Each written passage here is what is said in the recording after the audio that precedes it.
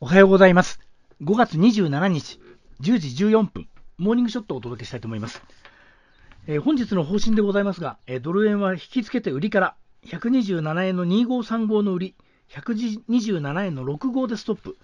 126円の6555の買い戻しを、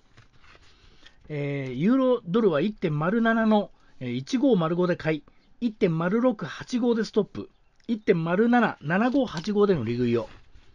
ユーロ円は引き付けて136円の10ちょうどで買いから、135円の80でストップ、136円の7080利食い、ポンド円は160円のちょうど159円の90で買いから、159円の70ストップ、160円の6070利食い、タイドルは1.259080買い、1.2560ストップ、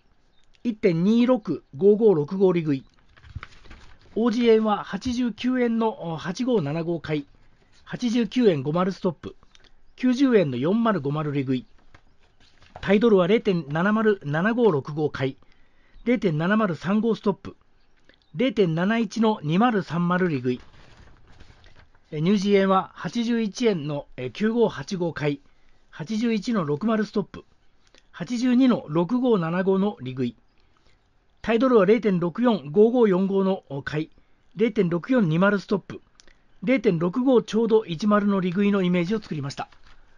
まあ、朝方127円の、えーまあ、20手前ぐらいまで、えー上がった後ですね、そこからこうずるずるっと崩れてきて、先ほど126円の90近辺まで下がりましたが、今127円の丸5近辺のもみ合いとなっています。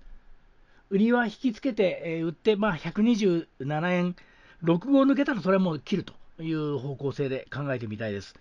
ショートを振った後126の6号、5号ゾーンまでもし下がらなければ、もう当然、利食い千人力で、やめていくといった状況で、80割れるかどうかをまあ見ていくのが一番大事か大事なポイントかなと、そういうふうに思います。もしこれが攻めても割れないようであれば、この辺りを今度ロング取ってみても面白いかもしれません。えそれでは、え本日もよろしくどうぞお願い申し上げます。えモーニングショットこれで終了です。